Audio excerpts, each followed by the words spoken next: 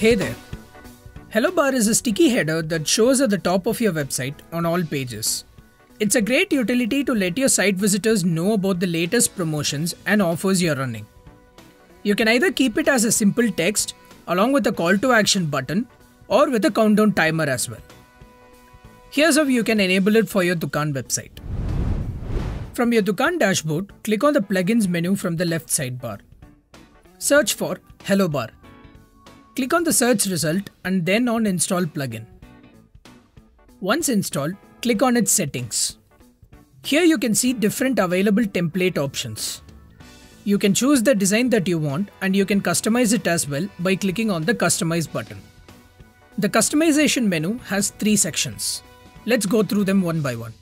Up first, we have the default customization options. Here, we can add the basic details like what text to display in the hello bar, where should this hello bar be placed on the site, whether top or bottom, what all pages should this hello bar be displayed on, either on all pages or just on the home page.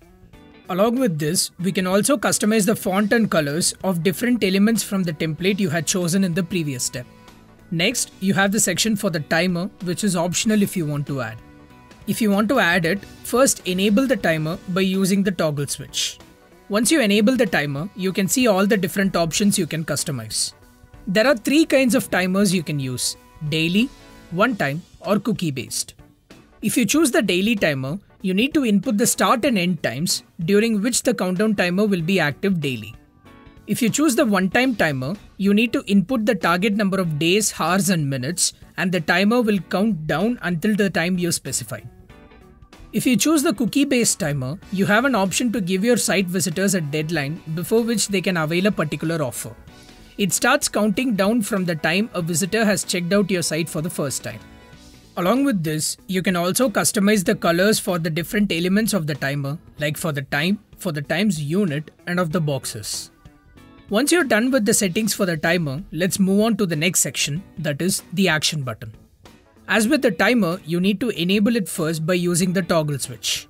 Next step, you need to add a label text for the button. This is the main text that will be displayed in the button.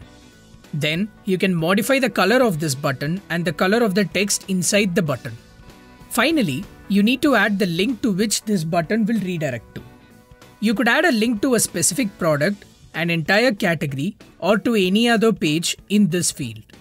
Users, when they click on the button from the hello bar, will be redirected directly to the page whose link you'll be adding here.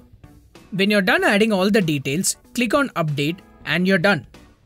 Go to your website and you can now see the hello bar active in it based on the settings you just entered. Happy selling!